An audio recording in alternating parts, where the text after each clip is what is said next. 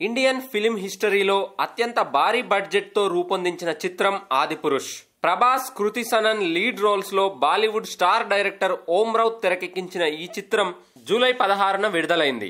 భారీ అంచనాలతో ప్రపంచవ్యాప్తంగా అత్యధిక థియేటర్లలో రిలీజ్ అయిన ఈ చిత్రం ఫస్ట్ వీక్లో భారీ కలెక్షన్స్ చేసినప్పటికీ ఆ తర్వాత చతికిలబడిపోయింది. ఆదిపురుష్ మూవీతో పాటు అందులో నటించిన లీడ్ రోల్స్ వేషధారణ డైలాగ్స్ పై అన్ని వర్గాల నుంచి అభ్యంతరాలు వ్యక్తమయ్యాయి. ఇది కూడా సినిమాపై నెగిటివ్ స్ప్రెడ్ అయ్యేందుకు కారణమైంది. ఈ క్రమంలోనే కాశ్మీర్ ఫైల్స్ డైరెక్టర్ వివేక్ అగ్నిహోత్రి ప్రభాస్ను ఉద్దేశిస్తూ ప్రభాస్ పేరు పెట్టకుండా చేసిన కామెంట్స్ వైరల్ అయ్యాయి.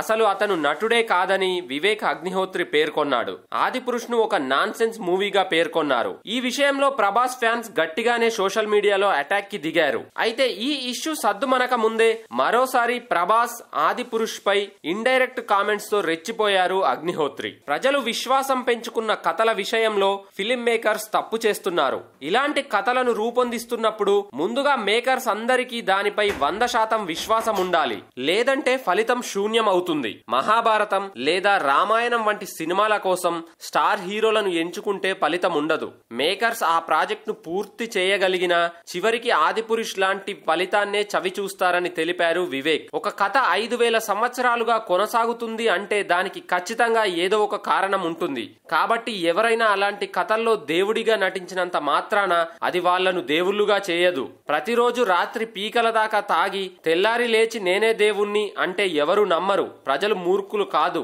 అంటూ వివేక్ అగ్నిహోత్రి కామెంట్స్ చేశారు. అయితే ఈ కామెంట్స్ ప్రభాష్ను ఉద్దేశించే వివేక్ అగ్నిహోత్రి చేశారని నెటిజన్లు అభిప్రాయపడుతున్నారు. అంతేకాదు అగ్నిహోత్రికి కౌంటర్లు ఇస్తూ ప్రభాస్ ఫ్యాన్స్ అప్పుడే హల్చల్ చేస్తున్నారు. అంతేకాదు పేరు పెట్టకుండా కామెంట్స్ చేయడం పిరికి చర్య అవుతుంది అంటూ కూడా కామెంట్స్ వస్తున్నాయి. ఇక ఇదిలా ఉంటే ప్రభాస్ నటించిన సలార్ మూవీ సెప్టెంబర్ ఇరవై ఎనిమిదిన విడుదలకు సిద్ధమైంది. ఇక ఆ మూవీ తర్వాత కల్కి two eight nine eight AD అనే మూవీ రిలీజ్కు సిద్ధంగా ఉంది. ముందుగా సంక్రాంతికి ఈ సినిమాను రిలీజ్ చేస్తారనుకున్నా తాజాగా వచ్చిన అప్డేట్ ప్రకారం కల్కి మూవీ రిలీజ్ సమ్మర్కి షిఫ్ట్ అయిందని వార్తలు అందుతున్నాయి. తాజాగా విడుదల చేసిన ఫస్ట్ గ్లిమ్స్ కల్కి నుండి చాలా విపరీతంగా ఆకట్టుకున్నాయి.